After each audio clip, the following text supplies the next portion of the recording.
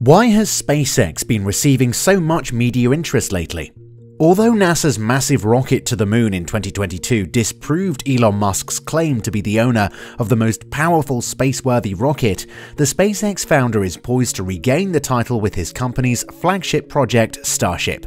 Even though SpaceX's initial two tests in April and November of last year failed, the corporation has announced that its Starship will soon complete an orbital journey, setting new records and creating history. When will SpaceX attempt this challenging task once more?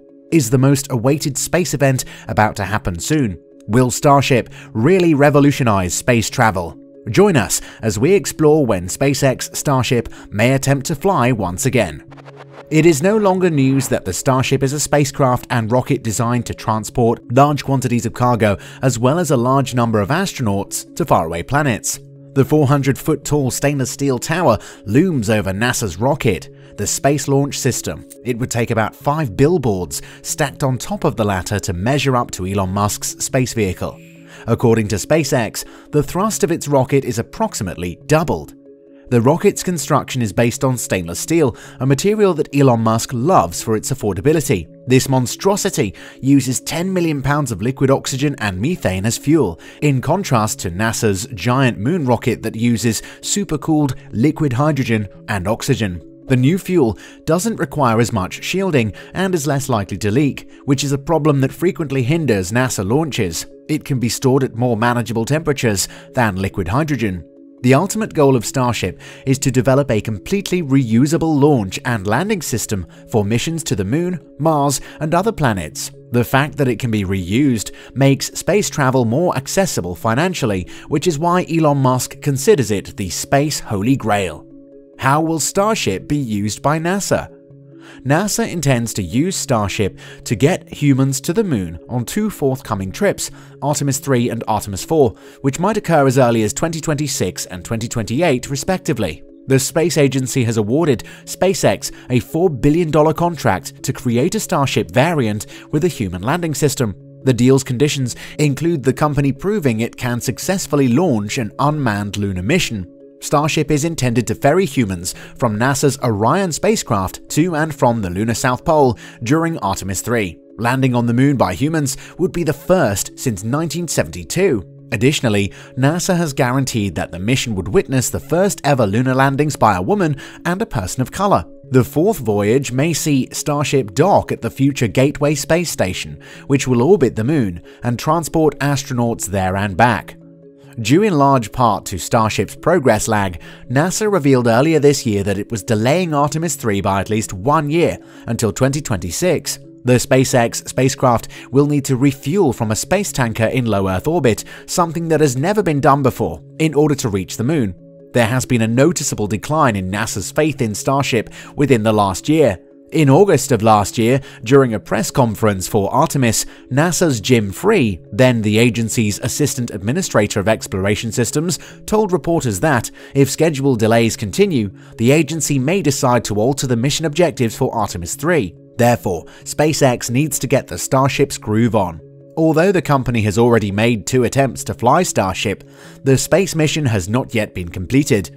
After its initial launch on April 20, 2023, the rocket detonated around 4 minutes later, 24 miles above the Gulf of Mexico. The rocket plummeted back toward Earth after failing to detach from its massive booster. After many engines failed, SpaceX said that the self destruct system was activated for both the rocket and the spacecraft. As the rocket detonated during its fall, several of its components fell into the ocean. Months later, SpaceX issued a more detailed explanation in which they said that the booster's back end caught fire due to fuel leaks, cutting power to the main flight computer. As a result, most booster engines' communications were lost, and eventually the vehicle lost control. Since then, SpaceX has tightened its testing procedures for engines and boosters and put measures in place to prevent leaks. In order to mitigate damage from the launch, the company also claimed to have strengthened the launch pad, added a flame deflector, and upgraded the rocket's fire suppression system. SpaceX also offered more information about the explosion. Even though the vehicle was supposed to self destruct, there was an unanticipated delay in activation, hence, aerodynamic pressure, rather than the explosives, was the actual reason for Starship's disintegration. Officials from SpaceX have stated that they have upgraded the self destruct system since then. It took the company seven months to get a fresh launch license from the FAA, which meant there was a seven month gap between the first and second attempts. After the April test failed, the FDA launched an accident inquiry. Prior to doing so, it requested that SpaceX complete 63 remedial actions. Thereafter, the FAA approved the license after discussing the possible environmental impact with the US Fish and Wildlife Service.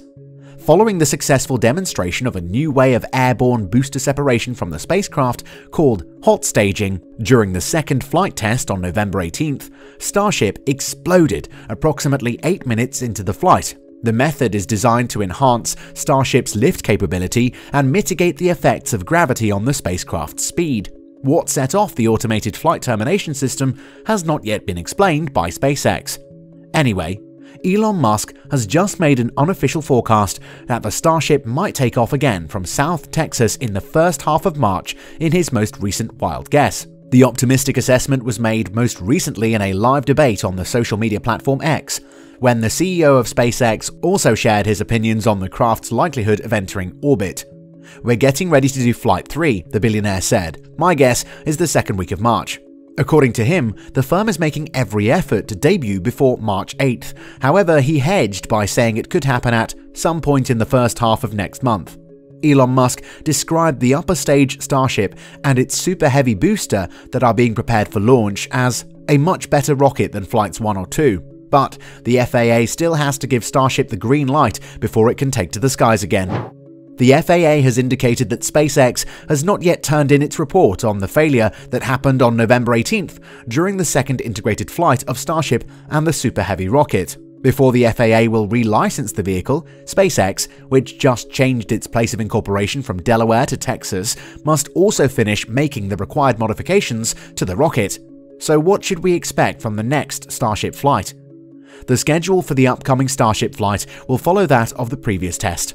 The SpaceX test facility, located close to the Texas community of Boca Chica, will be used to launch a set of super heavy rockets as well as a prototype Starship. Following detachment, the booster will do a partial return maneuver before touching down in the Gulf of Mexico. The prototype Starship, meanwhile, will gain enough velocity to enter low Earth orbit and will complete an imperfect orbit around the planet. A few miles off Kauai's northwest coast, the spacecraft will fire its engines, enter Earth's atmosphere, and then be splashed into the water in the Hawaiian Islands. The primary objective of the test right now is to try to refuel in space for the first time. What is Starship's chance of success? It wasn't totally surprising that SpaceX failed on its first and second try at flying. During the live launch broadcast of the first flight, Firm Quality Systems Engineering Manager Kate Tice commented, we cleared the launch tower, which honestly was our only hope. A number of SpaceX's Starship incomplete prototypes have crashed or detonated during their practice landings, but in May 2021, one managed to make it back safely, having travelled around 6 miles into the sky. And when it comes to the reality of spaceflight, Elon Musk doesn't mince words. He once predicted that Starship's space test wouldn't be successful the first time around. Meanwhile, he expressed his belief that they will advance significantly Administrator Nelson also praised SpaceX for the audacious endeavor, noting that historically, great accomplishments have necessitated some level of calculated risk. According to regulatory papers, the next test flight of the massive booster rocket requires it to separate around 3 minutes after takeoff and land in the Gulf of Mexico. After that, the rocket is supposed to orbit the planet at a height of more than 150 miles before erupting off the coast of Hawaii. The entire trip ought to take roughly 90 minutes. In the coming years, NASA will rely on this hardware demonstration to return humans to the moon, and if it works, Elon Musk will have taken a baby step towards fulfilling his lifelong ambition of constructing a metropolis on Mars. What does SpaceX want to do on Mars? The SpaceX founder's ultimate vision is to use a fleet of starships to send 1 million people to Mars by 2050. To be clear, Elon Musk wants to build a self-sustaining metropolis rather than just a tourist destination. He fantasizes about a Mars that, with a little warming, could have oceans and a thick atmosphere again, making it a more habitable planet that could support food cultivation. The spacecraft would have enough room for 100 passengers, their belongings, and building materials for iron foundries, residences, businesses, and rocket fuel stations. According to Elon Musk, although the trip there would be lengthy, the passengers would enjoy zero gravity activities, movies, lectures, and a restaurant on board the Starship. According to him, it should never seem stifling or dull. Would you like to be a part of that? Let us know what you think in the comment section below. Don't forget to subscribe to our channel and put on notifications for more videos. See you soon.